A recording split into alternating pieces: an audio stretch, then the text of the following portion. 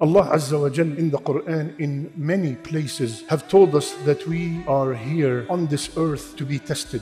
الذي خلق الموت والحياة ليبلوكم أيكم أحسن عملا The one who created death and life to test who is the best in deeds. You are here to be tested.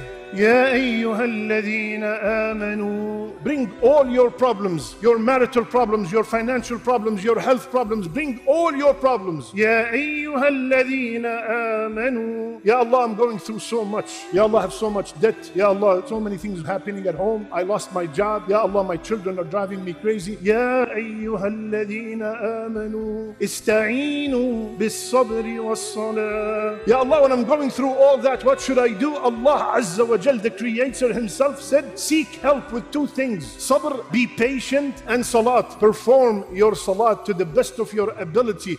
Ibn Abbas radiallahu anh came back from a trip and he was informed that your brother died. So he went, performed wudu, Allahu Akbar, and prayed two rak'ah. He said, Ibn Abbas, you do not ask when, how, where, why. You do not ask anything. He said, Didn't you hear what Allah said?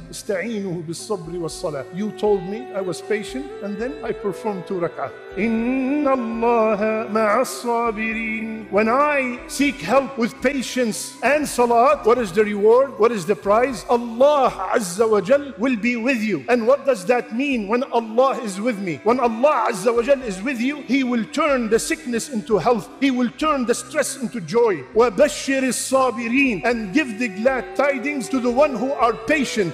Who are the sabirin, Ya Allah? الذين إذا أصابتهم مصيبة قالوا When the calamity hit, you got a text message your house is on fire. You got a text message you're fired. You got a text message your wife got into an accident. You got a text message you've been diagnosed with cancer, stage 4. What is the first response? الذين إذا أصابتهم مصيبة قالوا Not ثم قالوا There's not even a space between مصيبة and قالوا Instantly قالوا قالوا what يا الله إنا لله وإنا إليه راجعون Have we ever pondered wondered, what does that statement mean? Inna lillah, I belong to Allah. My spouse belongs to Allah. My children belong to Allah. My business belongs to Allah. My health belongs to Allah. And when something belongs to someone, he has the right to ask for it whenever they want we all know the story of the Sahabiya when her son died and her husband came back. And after they spoke and sat down and did what a husband does with his wife, she told him, If our neighbor lend us a pot and then he comes back and asks for it, what should we do? He said, Give it back to them right away. She said, Allah took your son.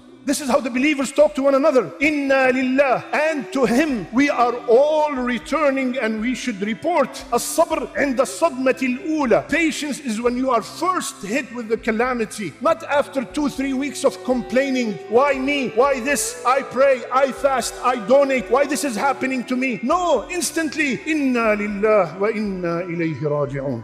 And Rasulullah said, Whomsoever is hit by a calamity and says, Inna lillah wa inna ilayhi raji'un, Allah Azza wa Jal will replace him with something better. Ulaik, the one who said, Inna lillah wa inna ilayhi raji'un, when they are hit by a calamity, Ulaika alayhim salawatum min rabbihim wa rahmah, wa ulaika humul muhtadun. These are the ones who get the salawat, salawat from Allah Azza wa Jal. Allah Azza wa Jal will boast about them in front of the angels. He will praise them in front of the angels. Warahmah, and they will get the mercy of Allah, which is the only ticket, which is the only key to Jannah. And Allah Azza wa Jal said, Indeed, these are the guided ones.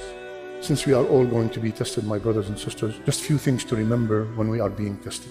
Number one, remember that the one who's testing you is the most merciful. The one who's testing you is Arham Rahimeen. He loves you more than your own mother. That should make me feel at ease because I know that my mother will not even want me to get a headache. The one who's testing you is Ahkam al Hakimeen, the all wise. Why, when, where? No, no, no. The one who's testing me is the all wise himself, is the one who knows the unseen. If I tell you I know the unseen, you will listen to everything I have to say. But there's only one who knows the unseen. It's Allah Azza wa Jalla. Second, compare what Allah took to what Allah has left.